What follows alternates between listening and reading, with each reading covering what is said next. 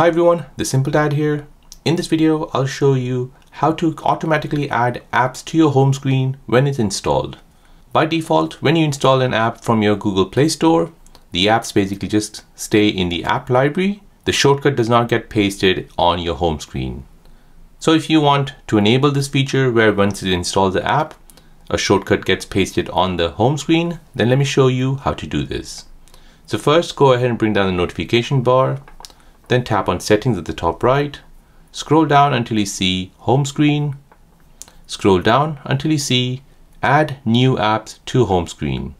So go ahead and turn on this feature. Now press home and now whenever you install an app from the Play Store, those apps will be installed in your phone. However, you'll see a shortcut appear on your home screen. And there you go guys, that is how to turn on the feature for apps being installed to appear on the home screen as well. If you're new on the channel and you want to find out more about your iPhone, your Android phone, or any other social media apps, then don't forget to subscribe to this channel to become a part of the Simple Dad community. Hit the like button if you find this video useful.